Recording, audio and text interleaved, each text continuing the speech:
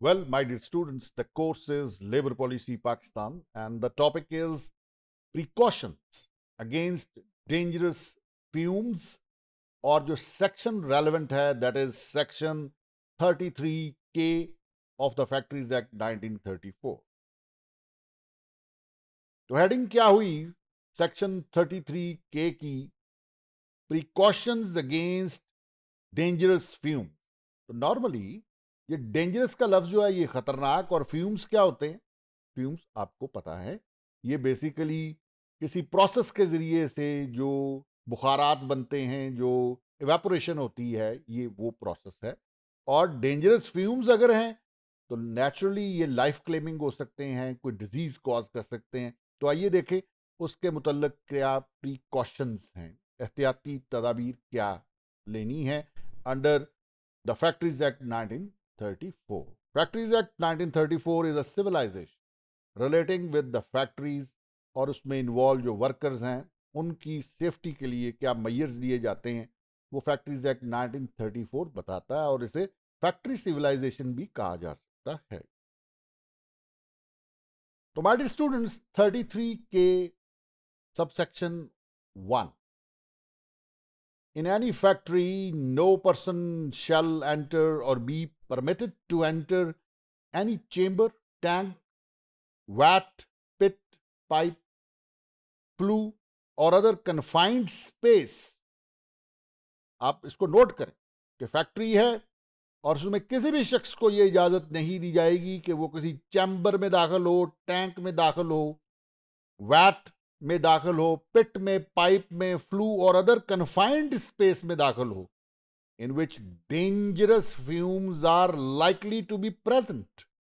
कि जहाँ वो डेंजरस फ्यूम्स जो हैं, वो एहतमाल है कि मौजूद हैं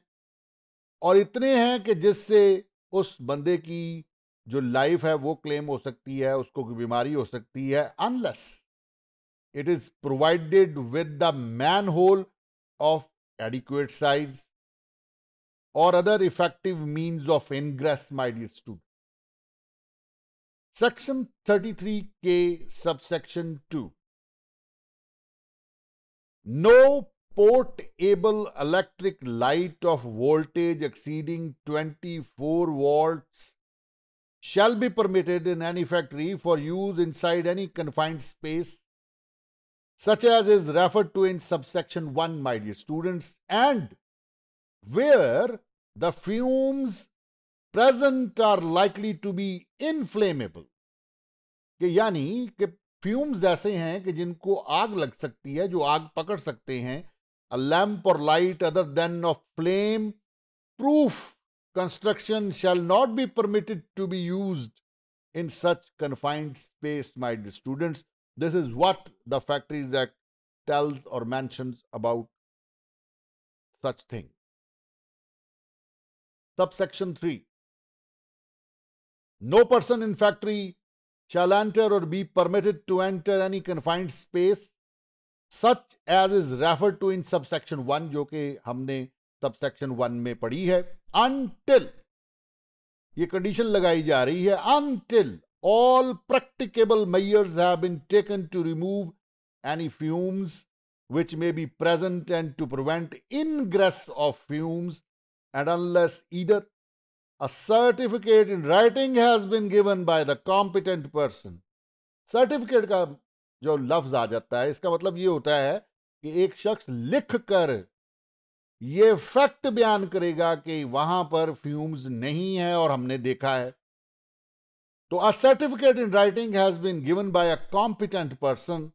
based on a test carried out by himself that the space is free from dangerous fumes and fit for person to enter तो इसका मतलब है कि डेंजरस फ्यूम्स हैं तो वहाँ पे किसी भी बंदे को, किसी भी वर्कर्स को धकेला नहीं जा सकता। उस जगह से फ्यूम्स को ख़त्म करना है और वो फ्यूम्स वहाँ पर नहीं है, इसको सर्टिफाई करना है किसी कॉम्पिटेंट पर्सन ने। कॉम्पिटेंट पर्सन का जो लफ्ज़ है, ये बड़ा इंपॉर्टेंट है।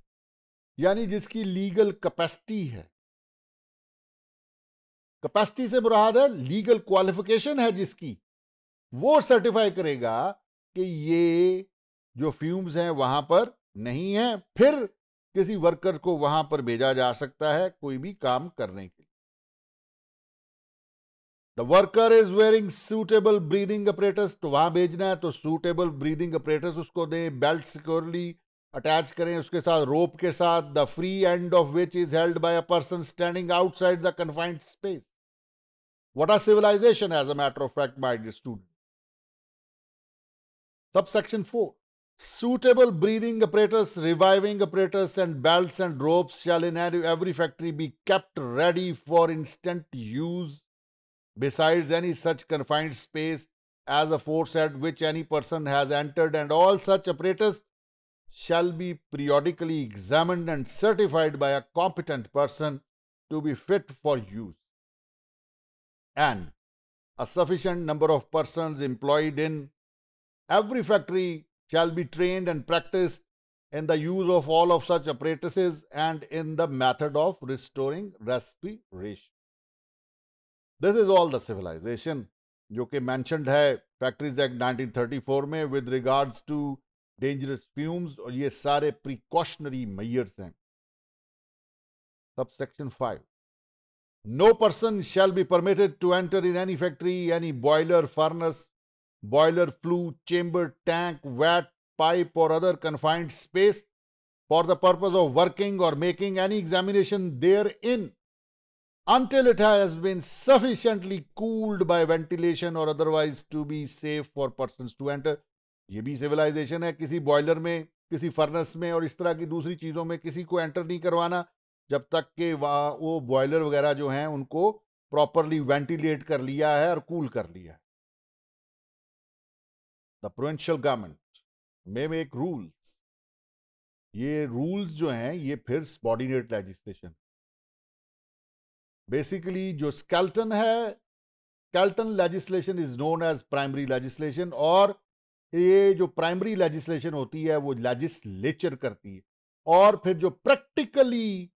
जो रूल्स चाहिए होते हैं, वो प्रोविंशियल गवर्नमेंट का काम होता है, वो बनाती है। The provincial government may make rules prescribing the maximum dimension of the manholes refer to in subsection one, and may by order in writing exempt subject to such condition as it may think think fit to impose any factory or class or description of factories from compliance with any of the provision of this. Hope you have understood the topic. Thank you very much indeed.